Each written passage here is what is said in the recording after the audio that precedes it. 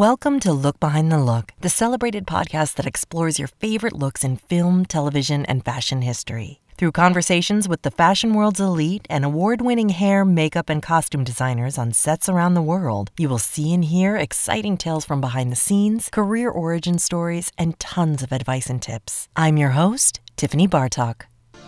Hey, everybody, thank you so much for joining me for another episode of Look Behind the Look. We're talking to another group of Emmy nominated artists today. We are talking to Stacey Morris and Nena Ross Davis of Blackish. And this episode really tried to kill me. I'm telling you, I had so much to learn and so many questions to ask them. And the the thing just kept cutting out. These ladies came out of their busy schedule directly from set.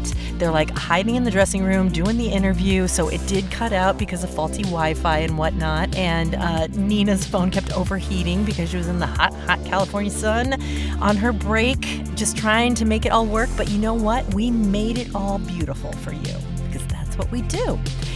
In this episode, you're going to hear from legendary hairstylist and barber Stacey Morris. She's the personal barber for Anthony Anderson since the beginning of his career and the beginning of Blackish. She's also the barber for Marcus Scribner, Miles Brown, Deon Cole, Laurence Fishburne, all of them on the show, which is what we talk about today. But Stacey's worked with all of your favorites personally Eddie Murphy, Will Smith, Lil Nas X, Anthony Mackie. She is Oscar nominated, six time Emmy, and seven time Guild Award nominee with two wins. And we're also talking to Nena Ross Davis, who will be talking about her work with Stacey on Blackish this year. Oh, and did I mention that they're both Emmy nominated? Yeah, I think I did, but just to remind you.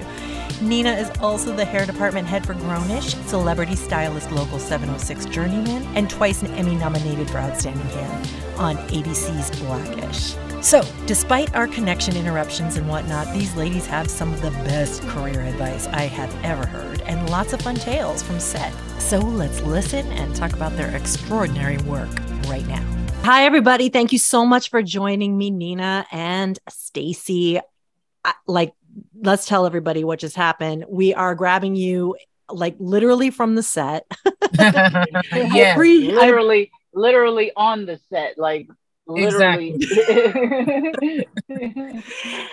I appreciate. I know Nena, you jumped out in the middle. Yes. waiting for your arrival, your talent arrival, and yes, you guys are busy, busy, busy, busy, busy. And I appreciate right. taking the time so much to talk to me about this beautiful show that we all know and love an American staple, Blackish, which sadly came. I just stupidly rewatched the finale. I don't know why I did that to myself. Just as a refresher, I was watching it. I was like, why did I do choose the finale to watch again? I'm so sad. I know. So I can't imagine what you guys have been going through, but let's talk about it because as you were saying, Nena, earlier, Stacey, you've been with the show since the pilot, right? Mm-hmm. Yep. Okay. since inception. Amazing. And and and so you're Anthony's personal? Yeah, I'm Anthony's personal, but um on the show I basically took care of the guys, like uh the male cast, you know, so that was me. I've been knowing and doing Anthony since he came back from Howard University back in the day. Is that Tell true? how long, Stacey. Don't be bashful. It's to be like 25 years. yeah, stop telling my age. Um, okay. no, but yeah, when he came back from Howard, you know, there was a little circle of friends here in LA that kind of, you know, hung out with each other and we met. And I was like, you need to let me cut your hair. And I started oh. cutting his hair and I've been doing him ever since. I've been through it all with him. Oh my God. So are we talking law and order or like, I mean, we're talking about what the beginning since you ever it. saw him like because he went he went to college and he came back and you know what i mean we had to be god uh, you know what 19 20 oh. 20 uh, around then is when we kind of started hanging out with each other and i was doing his hair and um you know, I've been through the whole journey to Blackish. amazing, amazing. And it's funny because when when he was doing Blackish, he said, "Hey, I might have this show. We're gonna do this show. I want you have to be with me." And at the time, I think there was Scandal. okay. Uh, yeah, and it was like, so who are you gonna do? You're gonna do Scandal? You're gonna do Blackish? You know, ah. and so they they were actually uh fighting with with each other over me, which was kind of fun. oh yes, Blackish, and then I went over to Scandal. That's so funny. I was over yeah. Scandal for some years over there with the mm-hmm. crew. Oh my god! Yeah. Oh my so god! We've just been all over the place. It's been a great journey, you know. Yeah. Yes. Great journey. And then I arrived on uh, season seven and eight. Um, you know, for the finale. So it was. I'm just happy and blessed to be a part of the Blackish family and franchise. You know and, you know, when I got there, everybody just welcomed me with open arms and, you know, they grew to love me. And, and it, we just been a, just a, a great family, you know, mm-hmm. Blackish is family. Yes, that's very clear. It's such a staple yeah. in all of our families for sure. And I don't know yeah. what we're gonna do without it. What do you think is gonna happen? There's it's irreplaceable. There's nothing, nothing that can irre- take its place. Yeah, it's it's irreplaceable, but you know, I've had the experience of being on shows, you know, like this, mm-hmm. and it just it never goes away. It's the gift that keeps on giving. Like yeah. I I did Fresh Prince, you know, I did Martin Lawrence, and it it reminded me of that. And it was uh. funny having this consciousness because back then we didn't know what we were creating. We didn't mm-hmm. know what we mm-hmm. were in. We didn't really realize until now we still talk about it and we're like, man, you know, those experiences and and and the things that it meant at that time to people and the watchers and the viewers and all of that we didn't realize but be, a, after having that experience and now feeling that nostalgic feeling again with blackish i'm like a lot of people don't realize what has happened here mm. for you know the show the actors just the timing you know just everything and in years to come 20, 10, 15, we'll be talking about Blackish. Yes, just like with yeah. the other shows that you mentioned. Absolutely. Exactly. Absolutely. Yeah. But I so, have a different perspective, you know, and I can actually see that. I know it already because I've had you've been through it. Yeah. Mm-hmm, yeah. Mm-hmm, yeah. Mm-hmm.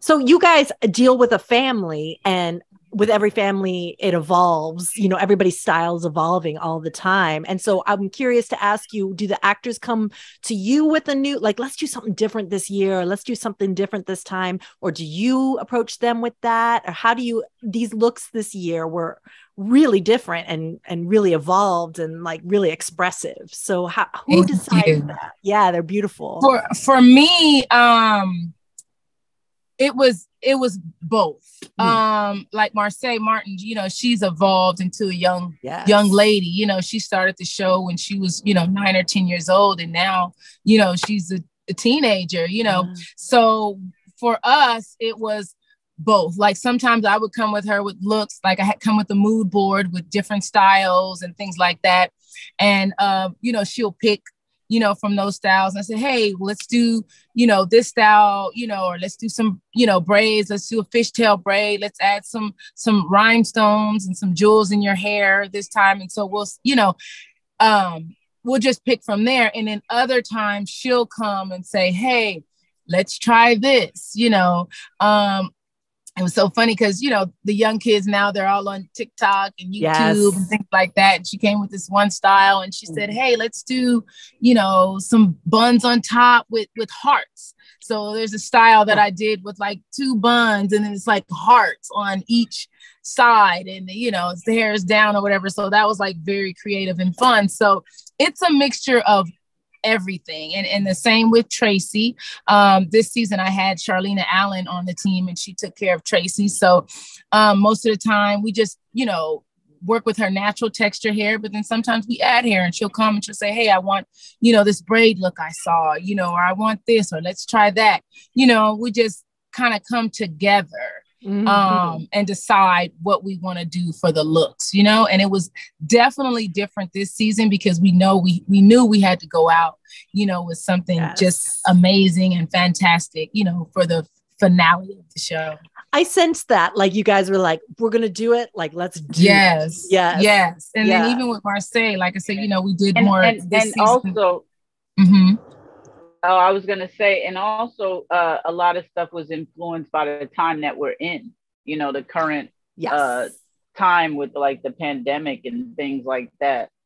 Um, another thing, uh, kind of different. It was different now than before. Is when we first started the show. Of course, we're establishing what their look is going to be, what the brand is going to be as far mm-hmm. as hair and and mm-hmm. telling the hair story. And there was a lot of involvement from uh, not only the actors but myself and the the uh, producers. Kenya Barris, he was very involved in their hair and what they looked like and what he wanted them, how they looked, how to make people feel, and the stories that it would tell, and how it would portray, you know, different things. So that kind of, as we evolved, um, got a little looser, which was fun because now we knew, oh, you know, this is that family. We know what they look like, and we kind of could let their own personality shine through in their hairstyles and which was really cool because as they got older, you know, kids start wanting different things and what their parents tell them they should get. Yes. And yeah, so we got to do that. It was like,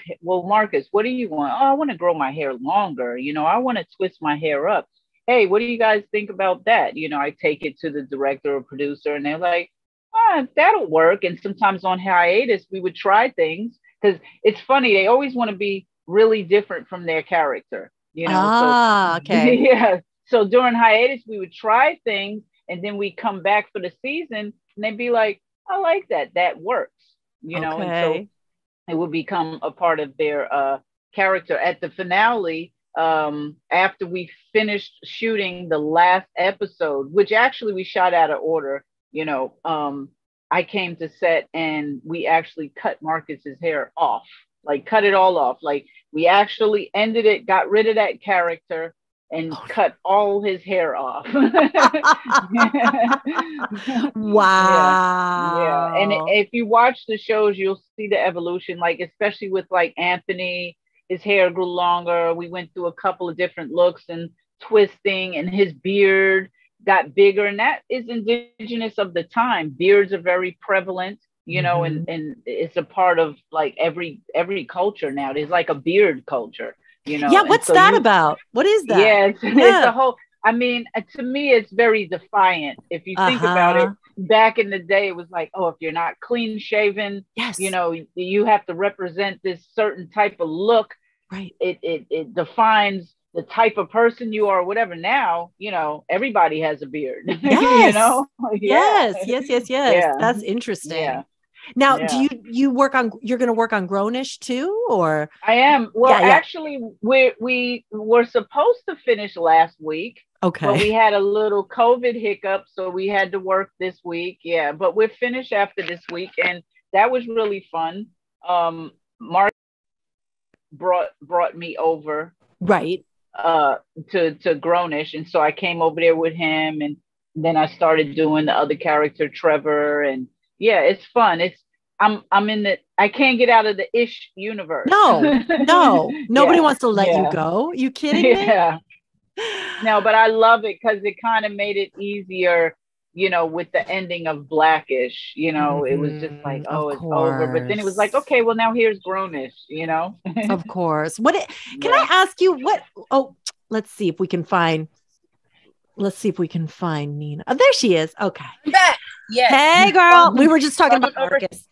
Heated. Yes. We were talking um, about Marcus and how mm-hmm. Stacey went over to Grownish. Um, yes. you know, so it helped with the evolution a mm-hmm. little bit to stay yes. in the ish mm-hmm. world. Right. And then I did, I also did two seasons of Grownish, uh, season okay. four and five. So it was kind of like I was bouncing back and forth. We did Blackish, mm-hmm. then that, when that wrapped, I went to Grownish, then came back, back, back, you know, and then now Stacey, you know, went over there as well. So she got to, you know, like you said, it just made it easier, you know, for the journey to end because it kind of like of picked course. up somewhere else. Yeah. Yeah. Can I ask you something not about not about your skill set so much, but just mm-hmm. about you emotionally. Like, can I ask you about the the ending? Because we talked about it as a family a lot, and like, what did you think of the move? What did that mean to you of them moving? Spoiler the- alert! Spoiler alert! Sorry, out. Um, it reminded me of the uh, what show was that back in the day? Uh, is it the Moving On Up? That one? Oh, the Jeffersons. yeah, it was kind of like you know what I'm saying. They're mm-hmm. they're elevating, they're graduating. Yeah, you know, it was just mm-hmm. transformation, and you know what I'm saying. Yeah. So it was it was, it was bittersweet. Yeah, right. Yeah. And then just yeah. going back to their roots, so their son could grow up in an environment that you know he can relate to you know and the mm-hmm. family can be around people that they can relate to because they've been going through all of these blackish problems issues and situations. So just to be able to have a sense of relief and calm and come back to where they you know where they were rooted from that's unconditional. Yeah. yeah. unconditional you know. So it was bittersweet. It was, I mean, it was a lot of tears, you know, that last I can't day. imagine. It was yeah. it was just a lot of emotions. Mm-hmm. Um it was it was pretty amazing. And actually for the finale, I know you watched it when they were doing the uh out uh the parade out in yes. the street.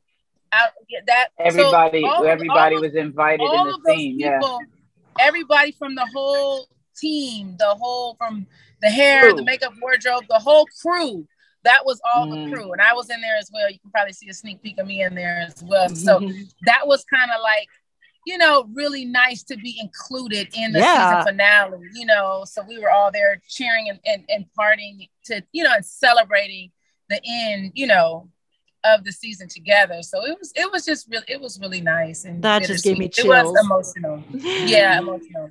Oh you my know, gosh. We grew as a family, you know?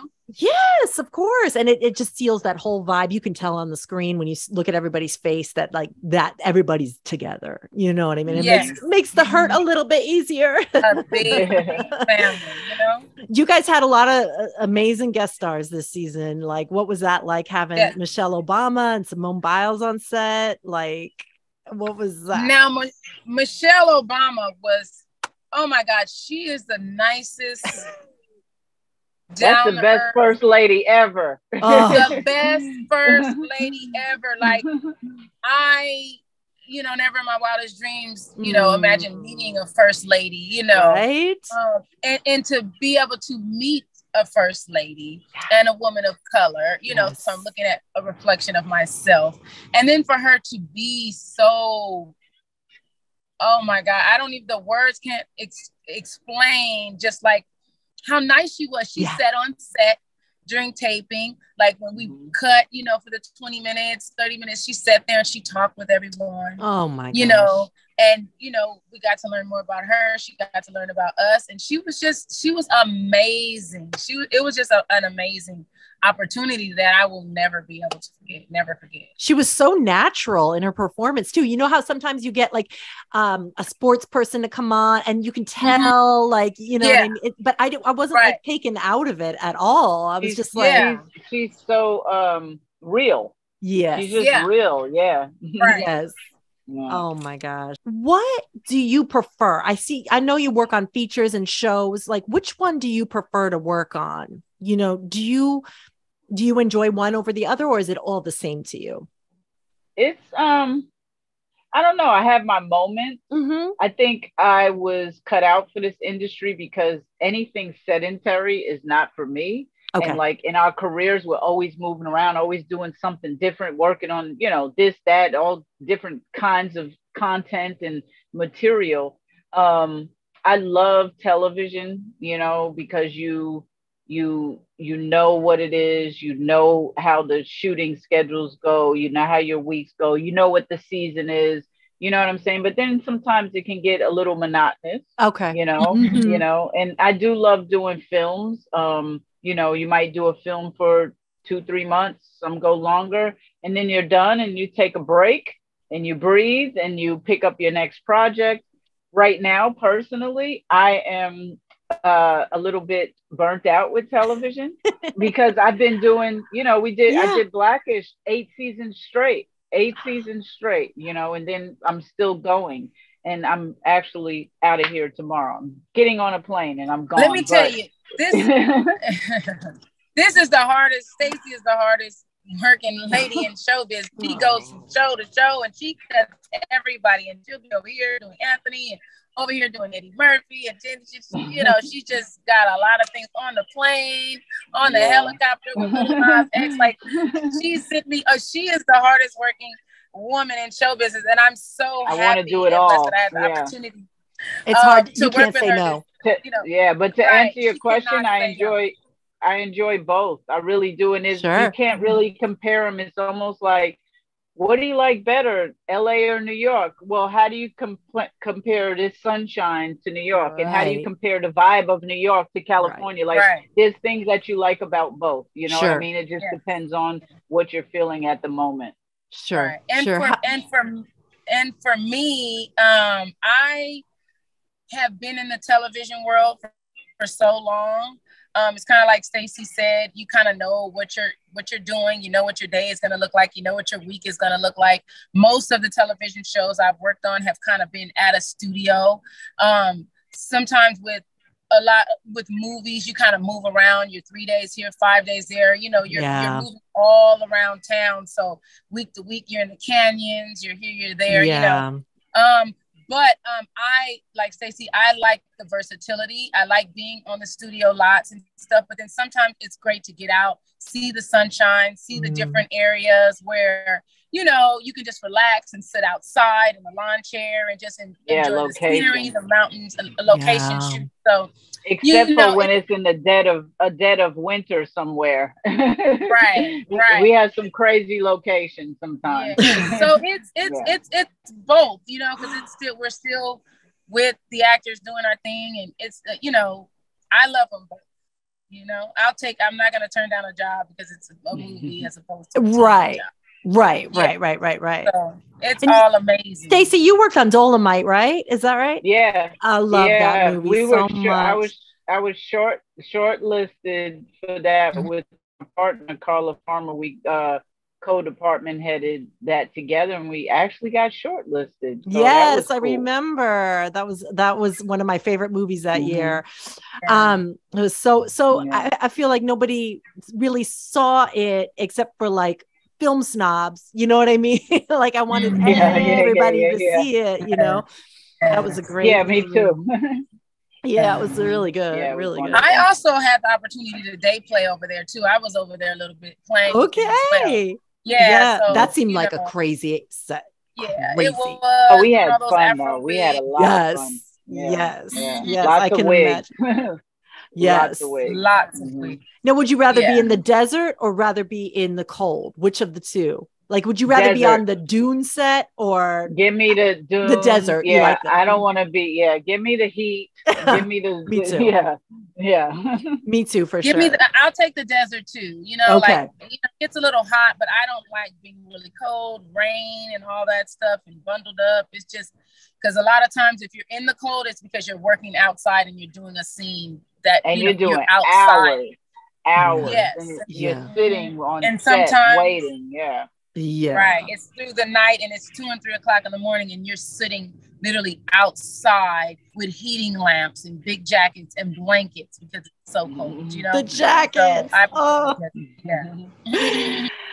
now for so you guys are nominated for an emmy of course of course. So this like how, what's how do you feel about all that? Do you pay attention? Do you go just don't talk about it. Don't leave me alone. I, I don't want to know until the day. Do you just enjoy the parties? How do you how do you deal with all that stress? Um oh, stacey for a second. i try not to get like too you know engaged in what's going on um, it's an honor to be nominated, and I just try to because you can get sucked in, yes. you know, and and that roller coaster ride, and before you know it, you lost your perception. When we do mm-hmm. the work, that's not what we're thinking about. We're not doing the work thinking Emmy, oh, we got to get this award. We're doing what we love and we're putting in a hundred percent. And so when we get to this mm-hmm. point, mm-hmm. I just say, okay, we're going to let it do what it does.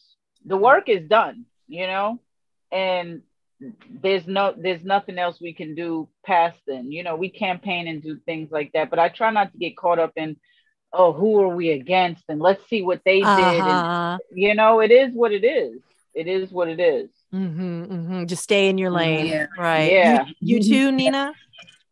Yeah, I agree with Stacey mm-hmm. on that. Like I mm-hmm. said, you know, when we go to work every day, we show up to do our best, you know, and once once we do that, we leave it all out on the table. You know, we just do our best work every day, and then you know, like you said, when it gets to this point, we just go through and we have to like literally pick out which episode are we gonna do? Oh, you right. yeah. So How do you select? How, mm-hmm. How did you select well, the once one? everything's well, once everything's done, then we get to look at the the genre of the work, scope of the whole season, and then we just sit down and we kind of, you know, we kind of go over the episodes. Or once that once it's all done, we kind of say, you know what, this episode right here probably the best one to pick. You know, it's okay. So that's what we do. We collaborate um, about the ep- which episode we're gonna do. Stacey and I. We just okay. decide. Okay, you know what? We were like, this is the premiere episode. Um, we had, you know, Miss Michelle Obama on the right, episode. Right, we right. had some great hairstyles and some great looks, and so we was like, let's go with this this episode right here. You know. Mm-hmm, mm-hmm. And then, Nena, did you? I lose you again? Okay. Did you work on the Prince? Yes, I see you. Mm-hmm. Did you work on no, the Prince? I Prince? That was okay. Uh, no, I did not. It was a previous season. It was okay. a previous season. I can't remember which season it was. Um, I believe the kids were a little bit younger. Yes. Can you hear me? Right. Okay. Mm-hmm, I okay. can. Mm-hmm. Yeah. So no, I, I wasn't, but I did see it, and it was amazing. You know, yeah, just yeah, yeah. so many amazing things that have come. You know, from this Blackish franchise. You know, just just seeing, watching the show evolve has just been amazing. You know. Oh, absolutely, absolutely. It's such a such an important part of television history, of course. And yeah. so. So tell me, do you have any advice for other makeup artists out there who want to like um a lot of our listeners are in the industry. They're just starting. Some some have are not mm-hmm. just starting and maybe they like mm-hmm. want to you know have the stability of a show or something like that. Is that something you can try to get or does it just come into your life? So like i was saying advice for anyone that wants to join the local 706 union you can call them direct and they can help uh facilitate how to do it. But just shortly there's three ways to get in. So you can either do 60, it's called 60, 60, 60.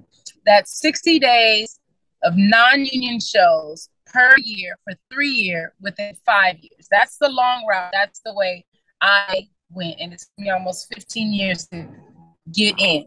So it's it's all about making wow. connections, meeting people, meeting go, going out, passing out cards, you know, meeting people in the industry, finding people that are doing non-union shows so that you can be a part of those shows.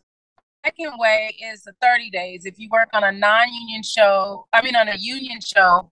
So some, what happens is you work on a non-union show and it's, if, if you work on that 30 days, you can automatically get in. Got in it. 30 days, you have to pay your money, big money, and then you can do a star request so a celebrity, you know, an A-list celebrity can request you. You work with them for 30 days or 60 days and you're in.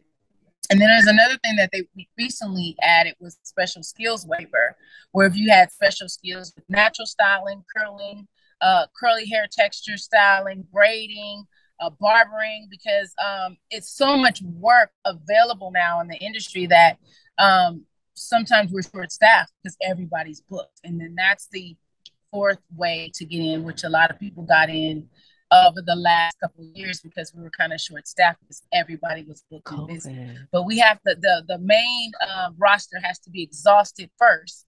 Okay. And then the union will allow someone to become, you know, to work on, for 30 days and get the days and get in like that.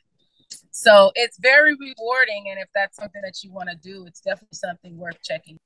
That is so incredibly helpful. I mean, that is like yes. all the information that people are always asking. So I appreciate you breaking yes. it down like that. Yes.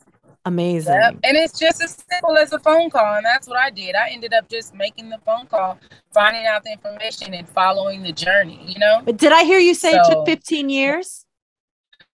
Yeah, you know, just I would say 15 years from the day I knew that I this is what I wanted to wanted do, to do and then start trying to make those connections. You really got to kind of go out to parties and not, you know, event where you know these type of people are produ- people in production and you just have to make those connections or make the connections with the celebrities you know kind of how Stacey did she you know met Anthony they they started you know working together and you know it just flourished for her so it's it's all about making industry connections yes yes yes Stacey, we what listen, girl. This is crazy. There's like uh, yeah. something from the upside down from Stranger yeah. Things is like eating all, all, our technology today, but we're we're we're making it happen.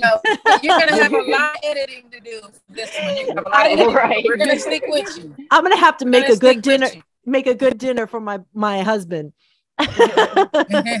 yeah, they came in here saying That's they were right. going to do something, and then all of a sudden the Wi-Fi was. oh, no, yeah. I, I, I appreciate you hanging on so much. I was just asking uh, Nena about the advice that uh, career advice and and if you had any yourself about how to get into the business and you know one day be like you when when they grow up.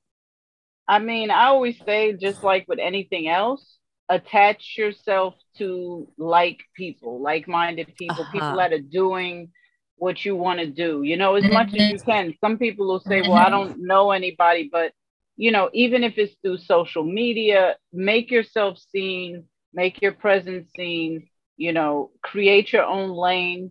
Uh, people are always trying to be like mm-hmm. someone else. I get a lot of people that say, hey, I want to do what you do.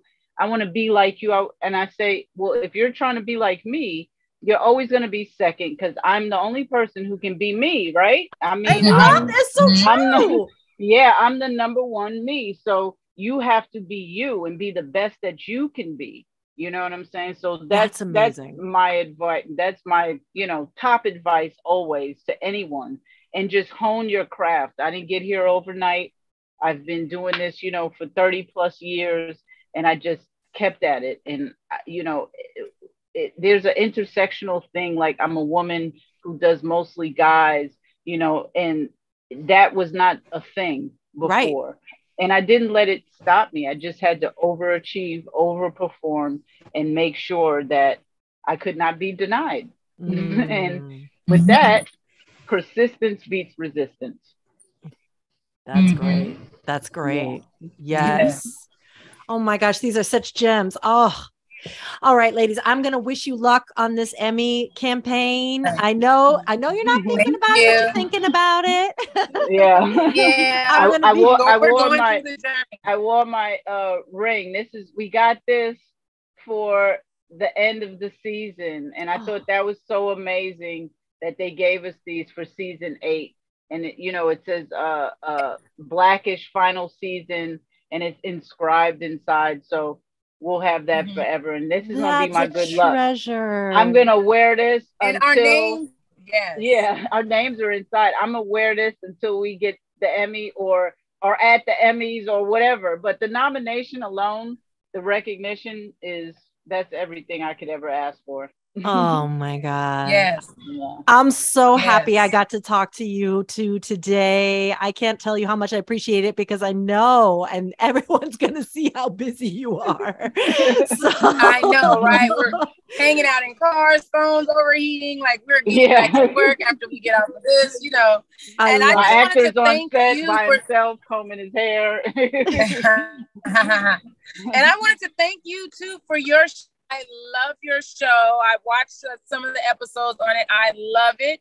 Thank and, you so um, I much. thank you for you know inviting us on your on your podcast and much yeah, success you. to you with your show because it's like you know letting everybody know what what goes on behind the scenes and how it's actually done. You know, you so guys are gonna make me cry. Well. Thank you so much. yeah, I, I, was telling I was telling you that I I just keep going no matter what.